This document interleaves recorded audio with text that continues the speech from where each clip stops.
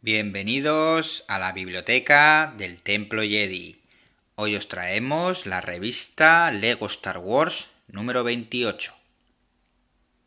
Bueno, tenemos esta revista que sale de manera mensual todos los meses aquí en España y como siempre viene con una minifigura, un speeder de nieve de la primera orden.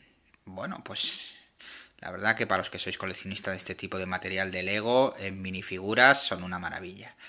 Como siempre, viene con dos historias, dos cómics de unas ocho páginas, que siempre digo lo mismo, pero es la verdad. Me parece lo mejor de la revista junto con la minifigura, porque es una revista claramente orientada a un público juvenil, pero como coleccionistas, como fans de la saga, pues eh, tener este, estos dos cómics y esta minifigura, pues eh, nos encanta.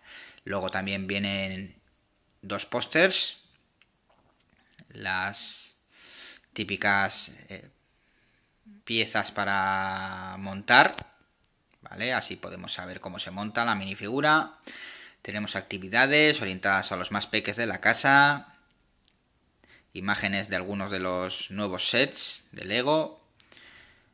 Ya veis como el U-Wing, la verdad que es genial el tamaño que tiene y, la pinta una nave brutal.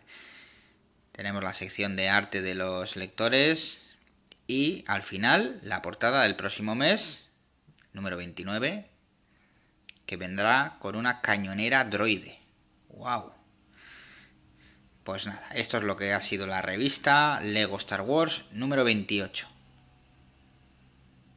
Que la lectura os acompañe.